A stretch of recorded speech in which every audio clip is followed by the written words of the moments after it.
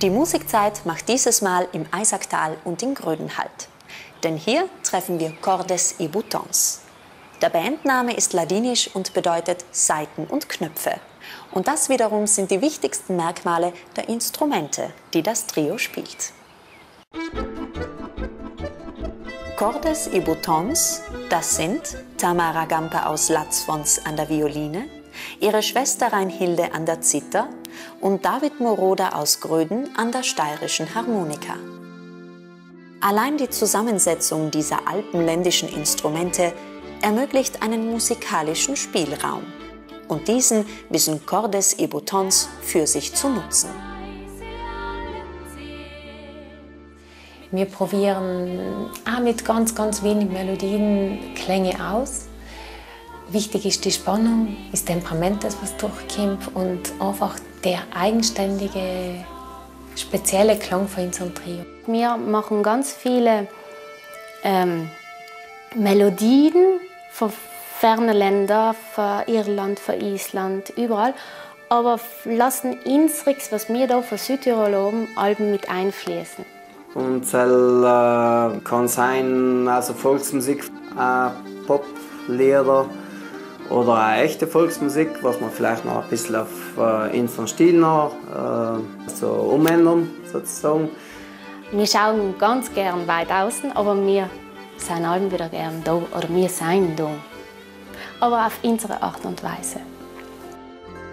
Cordes y Boutons sind experimentierfreudig und ihre Neugier lässt sie eben musikalisch weit über Grenzen blicken aber auch Eigenkompositionen finden sich in ihrem Repertoire. Etwa Vivanda, das im Ladinischen für Temperament und Lebensfreude steht.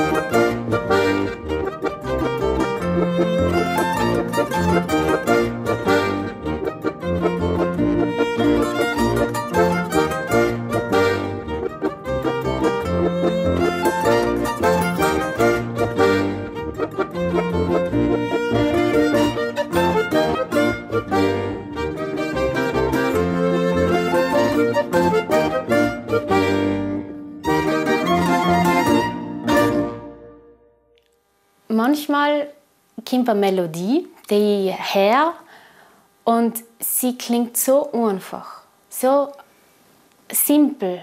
Und dann spielt man sie und dann merkt man, wie verstrickt das alles eigentlich ist, aber wie leicht das klingt. Und das ist das Spezielle, was mir voll gefällt. Und dann ist Arrangieren ist auch sehr speziell. jeder, jeder bringt seine Ideen in, ah, jetzt kann man das da tun und das da. Und dann wird es wieder verstrickt, aber es klingt dann wieder ganz einfach. Und das ist das Tolle.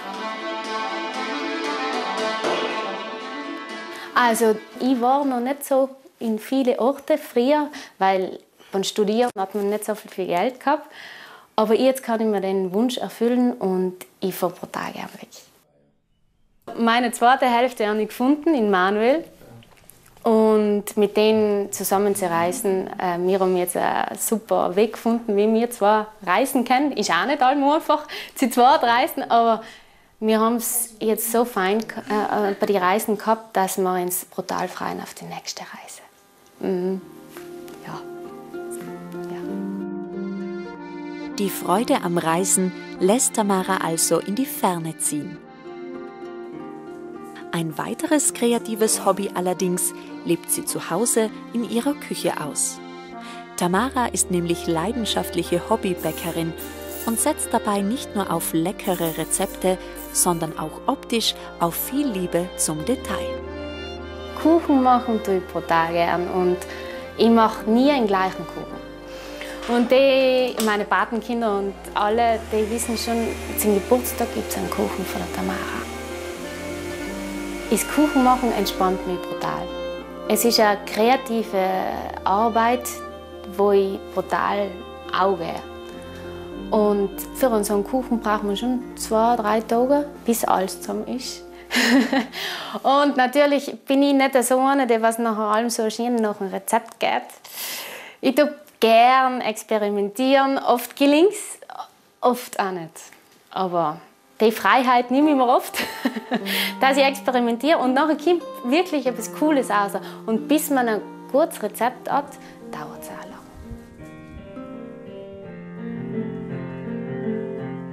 Tamara hat Musik- und Bewegungspädagogik in Wien studiert.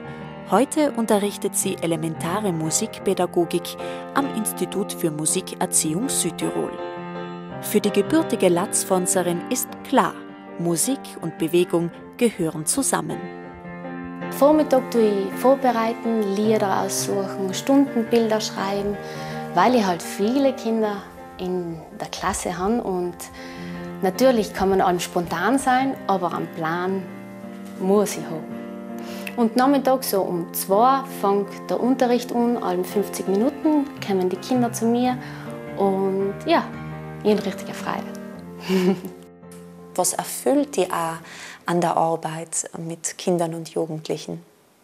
Mir erfüllt in dem Beruf, dass ich einfach ich kann geben in die Kinder so viel mitgeben, was Musik eigentlich Musik ist brutal bärig und Musik ist vielseitig und man kann alles mit Musik machen, aber sie geben mir noch gleichzeitig so viel zurück, wenn sie Spaß haben, wenn sie Freude haben, wenn sie ja das in die Augen sehen bei den Kindern ist brutal etwas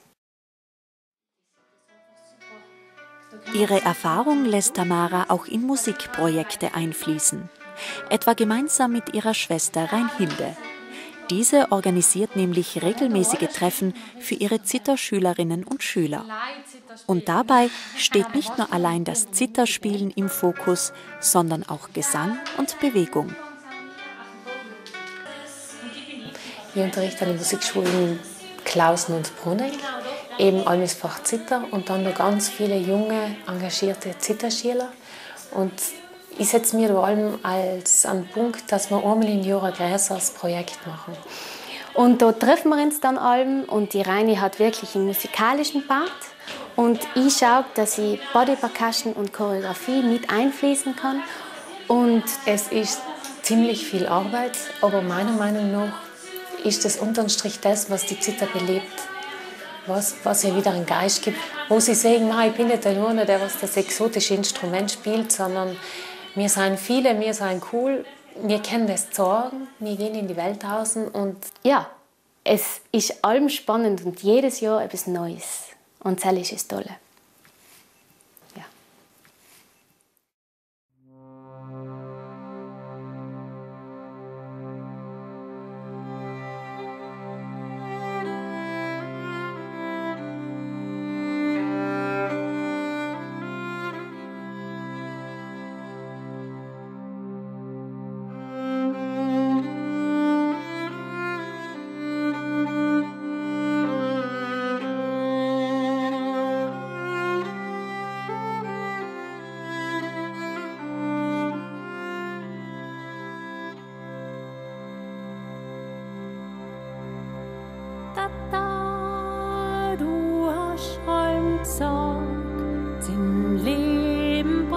schneit, sind dort einen falschen Tritt und für große Wegleid, sind dort einen falschen Tritt und für große Wegleid. Auf der Bergseit kennt die Sturm, auf der Talseit voll Schor auf die Wegmarsch mal aufpassen, ich's wird da klar. Auf der Bergseite kennt die Sturm und auf der Talseite voll schon. Auf die Wegmarsch mal aufpassen, ich's wird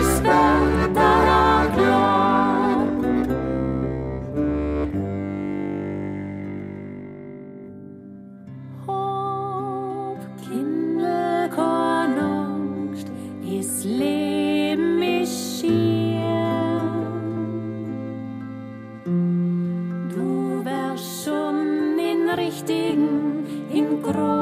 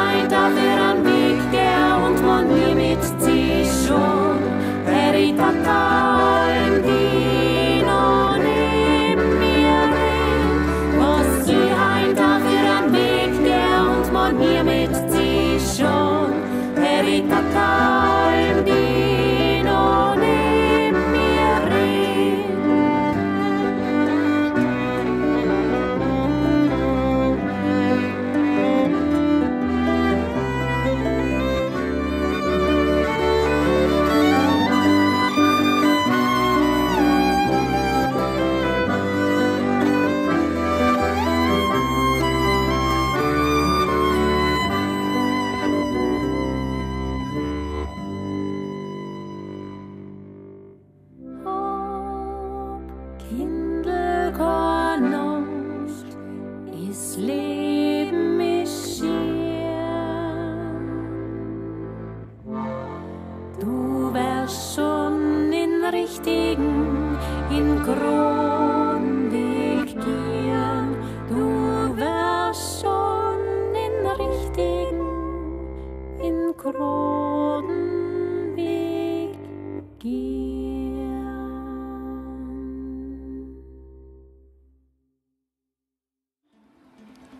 Garn bei Feldurns lebt Reinhilde Gamper mit ihrer Familie.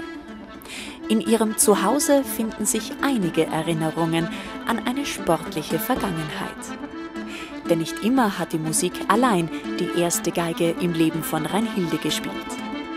Einige Jahre hat sie sich dem Sportrodeln verschrieben und war damit sehr erfolgreich. Ich liebe die Geschwindigkeit, ich liebe die Herausforderung und ich liebe das, das Fitzeln, das Stucken, wie komme ich da am schnellsten ein und welche Technik oder, oder welch, was wende ich um, einfach ans Ziel zu kommen. Und in der Musik ist eigentlich das Gleiche. Man muss die Technik so gut wie möglich beherrschen, um so wunderschön wie möglich spielen zu können. Und das habe ich voneinander gelernt. Und ja, das möchte niemand missen, die Erfahrung gemacht zu haben. Du bist Mama von zwei Töchtern und natürlich nimmt die Familie einen großen Bereich deines Lebens ein, genauso aber auch die Musik. Wie gelingt dir denn der Balanceakt, Reinhilde?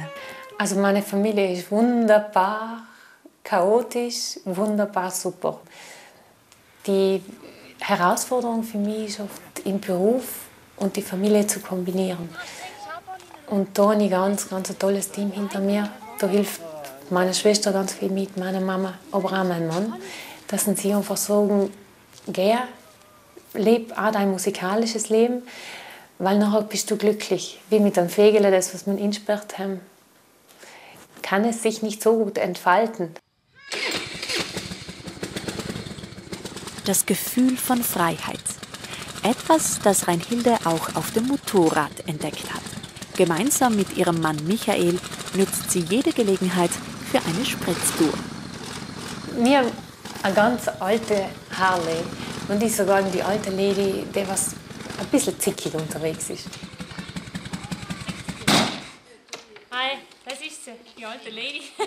Ja, wir waren Hochzeitsreise in der Flitterwoche nehmen auch mit dem Motorrad und sie verbindet uns schon ein bisschen das Freiheitsgefühl, das einfach in der Welt unterwegs zu sein und auch die Landschaft zu riechen. Und mit dem Motorrad zu fahren, auch wenn eine Stunde ist, kommt man oft auf vier Seiten, jetzt habe ich die Freiheit wieder genossen. Jetzt, äh, ja, jetzt bin ich einfach wieder glücklich. Einen ganz besonderen Glücksmoment erlebt Reinhilde immer dann, wenn sie mit ihrer Familie in den Hubschrauber steigen kann. Ihr Mann ist nämlich Hubschrauberpilot und es ist ein wahres Highlight, wenn sie gemeinsam in die Lüfte steigen. Ja, der Hubschrauber ist so ein, ein ganz wichtiger Teil von unserem Familienthema, weil ich bin den Weg zum Hubschrauberpiloten mit meinem Mann zusammengegangen. Und ja, er ist viel weg, dann ist er wieder einige Tage da, aber es ist halt so sporadisch, halt flexibel. Und so müssen wir uns als Familie auch den anpassen. So wunderschön es ist. Und wenn er vor der Tür in den Hubschrauber parkt, ist es eine Sensation, wo ja fast Freudentränen fließen.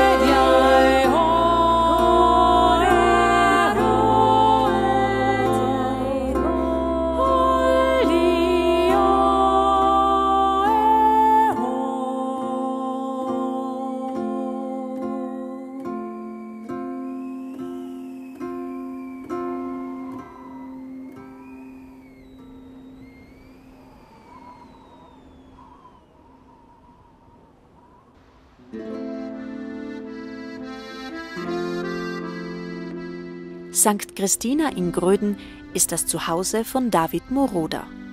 Hier lebt der dreifache Vater mit seiner Familie. Und Familienzeit ist eine willkommene Auszeit. Denn im Leben von David dreht sich so einiges um Musik.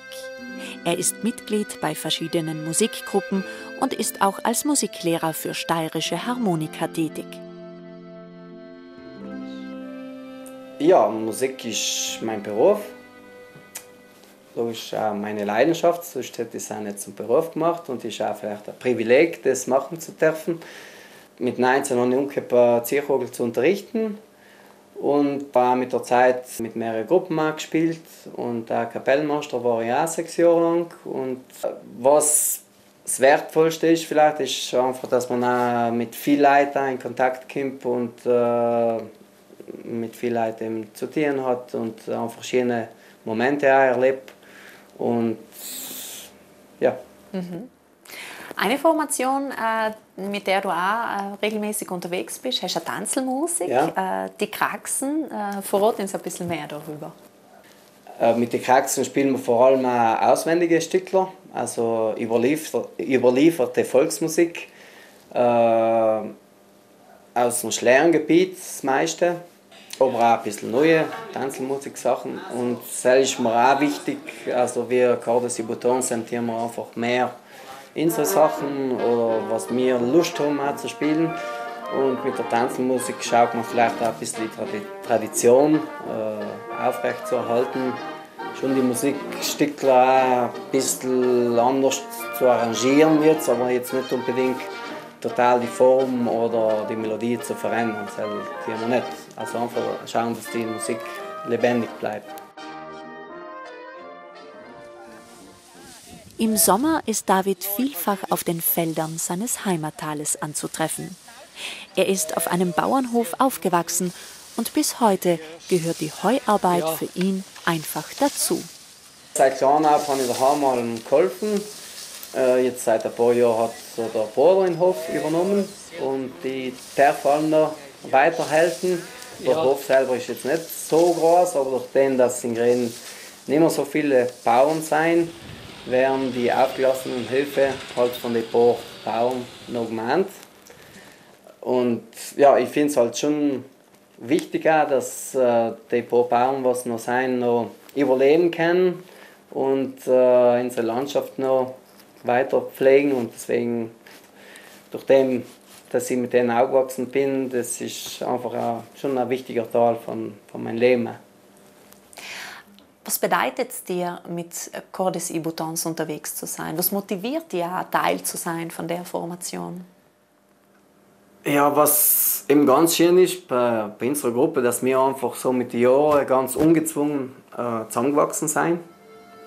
Und eben durch den, dass wir uns ganz gut verstehen, ist es auch schön, äh, miteinander zu proben, weil eigentlich entstehen die Stücke zusammen. Auch wenn man nicht selber schreibt, das kannst du allein noch logisch nie so umsetzen daheim wie in der Probe. Nicht? Das nimmst du noch mit und da tut noch jeder seinen Senf dazu. Und äh, es wird noch allein schöner. Und das ist eben das Spezielle und durch dem, dass wir eben allem unsere Meinung auch sagen dürfen. Wir haben jetzt keinen Bandleader. Es hat jeder, also wir sind äh, wie die direkte Demokratie. äh, da kann jeder einfach die, hat jeder die Freiheit, einfach seine Meinung zu sagen. Und äh, das darf und das soll auch gemeinsam wachsen, weil dann fühlt sich jeder mit, den, äh, mit der Musik verbunden. Im Repertoire von Cordes y Boutons findet sich auch das Wiegenlied Nina Nanna Ladina, ein Werk des Grödner Opernsängers und Komponisten Vinzenz Maria Demetz. Er lebte in Island, war dort als Gesangslehrer tätig und in der klassischen Musikwelt der Insel eine angesehene Persönlichkeit.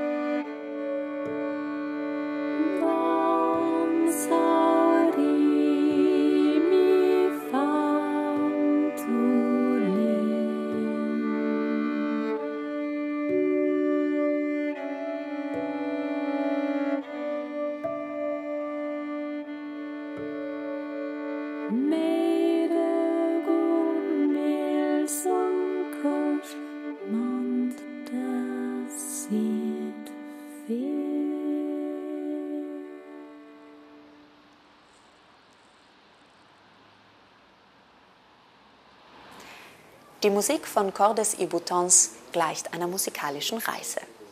Sie weckt das Fernweh und lässt gleichzeitig die Verbundenheit zur Heimat spüren.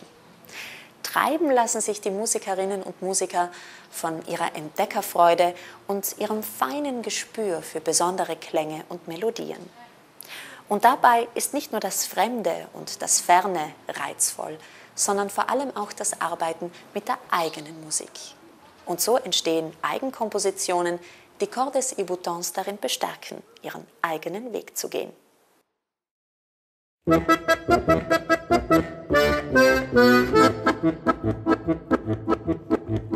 I dans und dans und dran mich um mich um.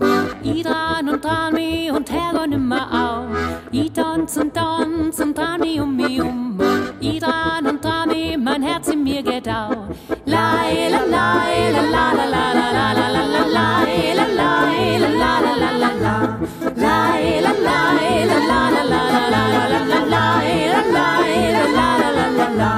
Pläne schmieden, hat Ziel erreichen, schnell und schnell, an nix will stiller stehen. Olbenmeer und Olbenher, steil bergauf, ich will halt mit mit ihr, die tanzen, tanzen, dran, um, um ich dran und drami und her und immer auf. Ich tanz und tanz und drami um mich um, ich dran und drami, mein Herz in mir geht auf. Lai, la, lai, la, la, la, la, la, la, la, la, lai,